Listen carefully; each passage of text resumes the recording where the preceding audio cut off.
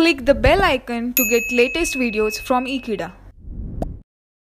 Hello friends, I welcome you all to this video. We are with the chapter image enhancement into the frequency domain. So far in this subject we have gone through the introduction to digital image processing, the various digital image fundamentals we have been addressed, the various image transforms have been taken into the chapter 3. Then the image enhancement, the very fundamental step in the digital image processing we started in the previous chapter. For the spatial details into the spatial domain we can say and now from this chapter into the frequency domain. So in this chapter earlier topics we have addressed like the Fourier transform and the frequency domain. And next to that the Fourier transform of the sample data also we have addressed there. Now let us see the details of how exactly the function reconstruction from the sample data can be there.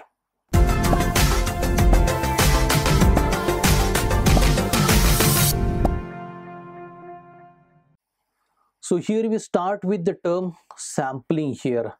So the sampling is a very important block as we go for the conversion of the physical image into the digital image. So basically whenever we obtain the information into the image form that it is a two-dimensional information. So it is a continuous type of the information. Hence we call it the physical image.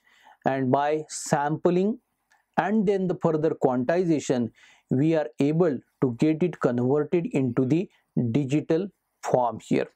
Nowadays we are using all the images into the digital image with the advantages of the storage and the transmission and so lot here.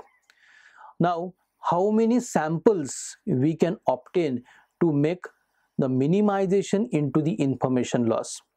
Because as we are getting converted from physical image to the digital image, the advantages we are using for the storage that means the memory space that is required for the storage should be the minimum one. In the minimum memory we want more and more information to be stored. So for this case what should be the sampling rate and how many samples can be obtained with a minimum information loss is a very much concerned point here. So here let us take enough samples so that the reconstruction of the signal into the continuous form is possible. So that is the solution to this particular question here. Now this comes with the band limited functions. So a function whose spectrum is of finite duration is called as a band limited function. So let us represent a band limited function in the form of a graphical representation here. So here we take the two axes into the use on the horizontal axis we represent the frequency domain parameter u here and onto the vertical axis we represent the function by capital F as a function of this u here. We have the curvature that extends from minus w to the plus w here. So this gives us the representation of the maximum frequency here. Hence, we can call this a band limited function. Whatever the information is there, that is in the range minus w to plus w, not beyond that, hence band limited. Now, there is a question whether all the functions are band limited or not. The answer is of course no. So here we have the representation of a function into the spatial domain small h of x represented here on the horizontal axis when x is taken we have such a step here having the amplitude 1 for the range of small x 0 to capital X. When we get it converted into the frequency domain by the use of Fourier transform, we get this spectrum and we represent the Fourier domain representation by capital H of u here. So in this representation you see here, the central beam is having the maximum information that range between minus 1 by capital X to plus 1 by capital X. Beyond that, there are several lobes but these are not exactly equal to 0 so this comes up to the infinity also hence the answer to the question whether all the functions are band limited or not the answer is no. This is the example to prove this answer. Now band limited functions have infinite durations into the spatial domain. So as they are limited into the frequency domain they are infinite into the spatial domain. The previous example that we have seen that it was limited into the spatial domain but it was infinite into the frequency domain. That is the case as we switch from spatial domain to that of the frequency domain. So here it is again the representation for the first case that we have represented the band limited function between minus w to plus w representing capital F of u in frequency domain. When get converted into the spatial domain representation by using the inverse Fourier transform you can take here. So it has infinite values onto the horizontal axis represented by small x for the function represented small f of x like this. Now the functions with finite duration into the spatial domain have infinite duration into the frequency domain. So already we have shown it onto the earlier slide. Now the function reconstruction from the sampled data we shall be discussing so here transform of the band limited function we show you here so the band limited function capital f of u has this particular nature in the frequency domain. So here instead of u we have mu symbol. So that we have from minus mu max to positive mu max and in between we have the information centered onto the origin marked with the zero here. Now the transform resulting from the critical sampling function can be obtained like this here. So here this is the representation of the function. So now we have minus mu max with the representation of minus 1 upon twice delta t. So this is the representation with respect to the time domain converted to that of the frequency domain and u max has been obtained by 1 upon twice delta t the time durations here so this way we have the visualization of this particular function when the transform is after a critical sampling function. So how much is required? That much only when taken we obtain it. Now extracting one period from the previous figure of the transform of the band limited function using the ideal low pass filter we can do and by the next step we obtain like this. So here the first figure gives you the information of the sampling with some arbitrary rate not exactly the critical one applying the low pass filter we get to the second step in the middle portion you can see the figure representing h of u having the time duration interval represented by delta capital T here. Now we have the representation into the frequency domain again. So it is f of mu obtained by multiplication of this low pass filter function h of mu to the earlier function represented after sampling there. So now let us take this example. So in this example we have the undersampled function with the representation of the black dots. They look like a sine wave having a frequency much lower than the frequency of the continuous signal. Here for the continuous signal represented with the solid line, we have the time duration denoted by delta t here. Now, very few samples, if we take the sample signal looks like a sinusoid of the lower frequency here so that is the case now when we take about one dimensional function we multiply f of x with s of x that is a train of impulses so the pictorial representation in the graph here you see here f of x we have represented in part a image s of x into the part c of the image having the interval between the pulses into the strain that it is denoted by delta x here. So when we have multiplication with the function here, we obtain the sampled function f of x. So this has been represented.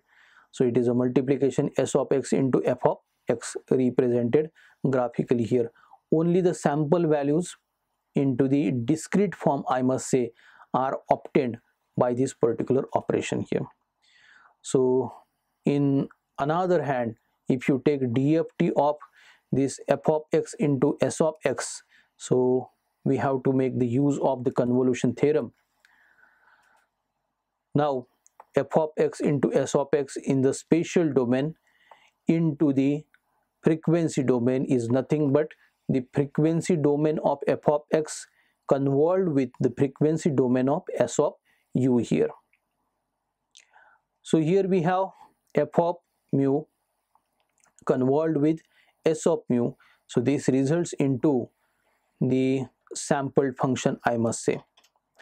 So here we have s of x f of x represented in the spatial domain that has direct shift into the frequency domain by the Fourier transform by s of mu having convolution with f of u here represented like this here. So reconstructing the original signal one dimensional f of x from its samples we need to make isolation of a single period. So multiplication by a window for example capital G of u is a possible thing here. So G of u when multiplied to the convolution of S of u into f of u here we obtain f of u like this onto the right hand you can see here. So G of u is a pulse for the duration minus w to plus w with the amplitude 1 here. Now after this step we need to take the inverse Fourier transform.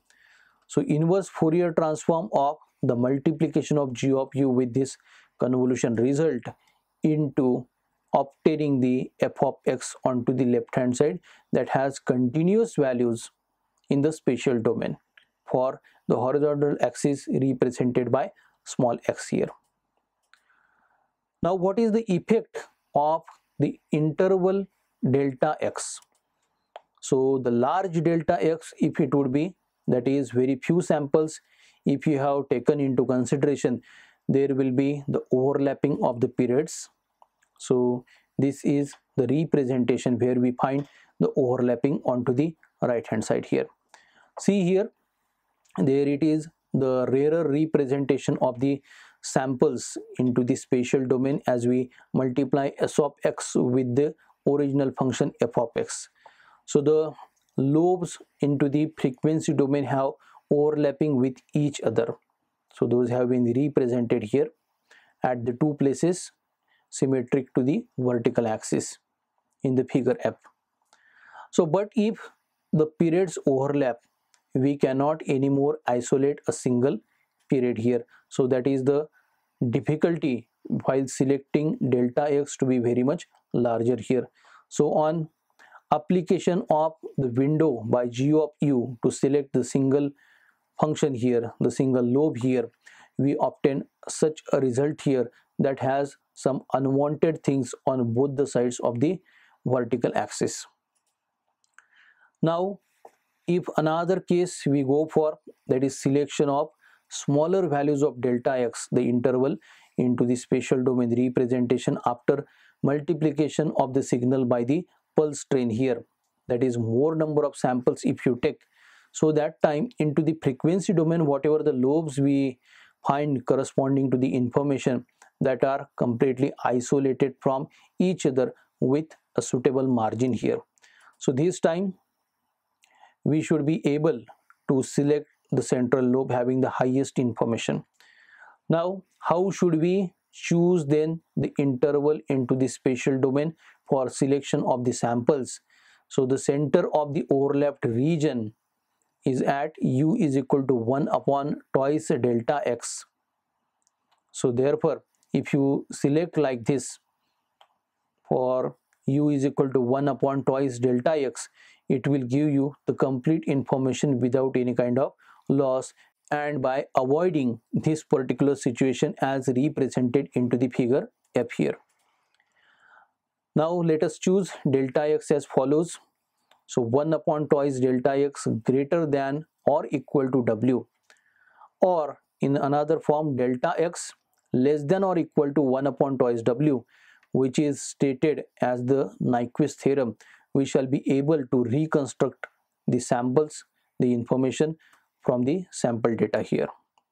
So in this particular mathematical representation capital W is the maximum frequency of the f of x here. So whatever you may have learned into the digital signal processing for one dimensional signal that is applicable to the image processing as well being a two dimensional signal here. So the reconstruction with the sinc filter we show here with the help of the diagram here. So on to the left hand side we have the sample data and by having a reconstruction the form of the function we find onto the right hand side. So right from 0 to 7 samples we have represented here the continuous waveform the continuous form of the signal we have traced here now reconstruction with the tent type of the filter. See the filter shape here. Gives for the same kind of the signal the reconstruction into the continuous domain form. But as the shape of the filter is like this we have the straight slopes for the reconstructed signal that are not exactly like the original signal. Now reconstruction with the help of the box filter that is of nearest neighbor type gives us such a stepped output signal here.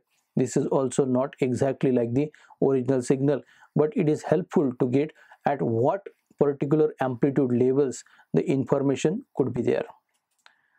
Now i hope this much is sufficient to address the function reconstruction from the sample data. I have already get it clear that whatever you have seen for the one dimensional signal will be applicable to the two dimensional signal also. So by the next lecture we continue our chapter image enhancement into the frequency domain with the next topic titled aliasing into the images.